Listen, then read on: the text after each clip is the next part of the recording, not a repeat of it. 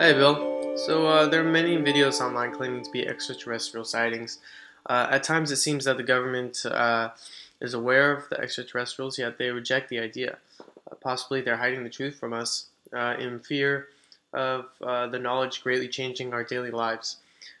do you believe these aliens exist? And if so, would you tell us? No, I don't believe the aliens exist coming to visit you and the government knows about it and hasn't told you. No. Start with that. Two more things. First of all, the whole alien thing really got revved up in 1947. There was a project called Skyhook. And the US government had these very cool, super high altitude balloons, and they were going to have a constellation of them or a an armada of these balloons off the east coast of the former Soviet Union with microphones tuned to listen for nuclear weapons tests. This was going to be big fun. And so they were testing the balloon in New Mexico. And it was complicated, and the winds blew the thing around, and it crashed, and it was impractical. The idea was kind of cool, but it was a Cold War idea that just didn't work. Now, this project was secret. So, yes, government of people showed up, the U.S. Army, swept up all the debris from the crash and took it away because it was secret. And, and they also experimented with parachuting dummies from very high altitudes in the same area. And this has led to all these fabulous myths about aliens and the government knows stuff you don't. Now, I look like nobody, and I am, but I had an engineering job, several of them over the years. And during one of them, I had security clearance. And I worked on a secret airplane for a little while. And I never went myself, but I worked with several guys, uh, they're all men, who went to Area 51, to Groom Lake, which is an Air Force base in Nevada, where we fly around these secret airplanes. And uh, it's a real place. And these guys went there. And, and when I was doing it, it was called level five security clearance. I only had level four. I never went to Groom Lake. But the big thing they wouldn't talk about was how fast these planes could go. That was a big secret. But anyway, these are people that worked on the F 117A uh, stealth fighter.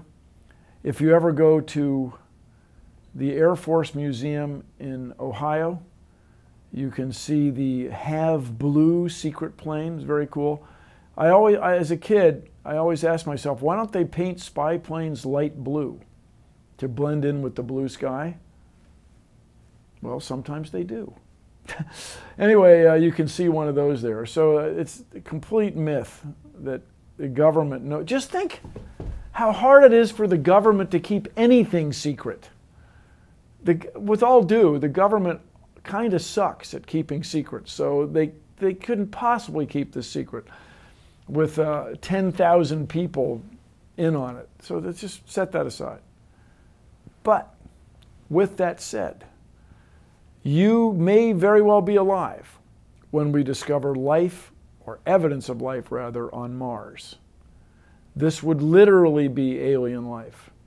If we find it, if we find some ancient microbes still alive in some icy layer under the Martian sand, it would change the world.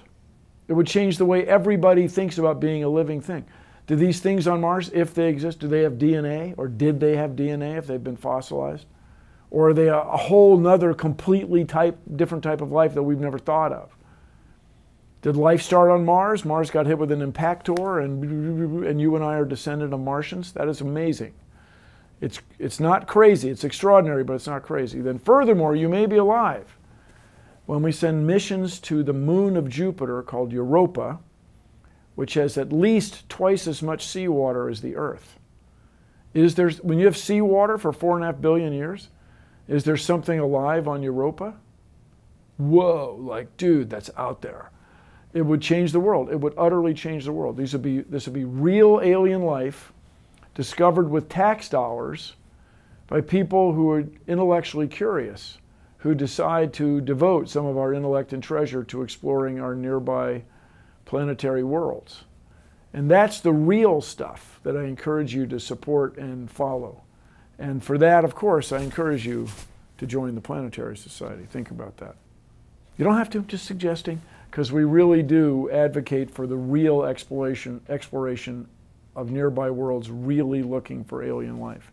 Also, the James Webb Space Telescope is going to launch in uh, 2018, and it may have the capability, it is hoped that we'll have the capability of exploring atmospheres of extraordinarily distant planets by having sunlight from those stars that those planets orbit pass through the atmospheres.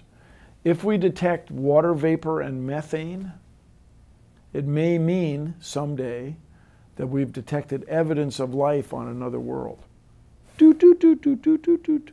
It's all the real stuff, is what I'm saying. The real exploration for alien life is more exciting than speculating about uh, a nominally secret Air Force base in Nevada. Carry on.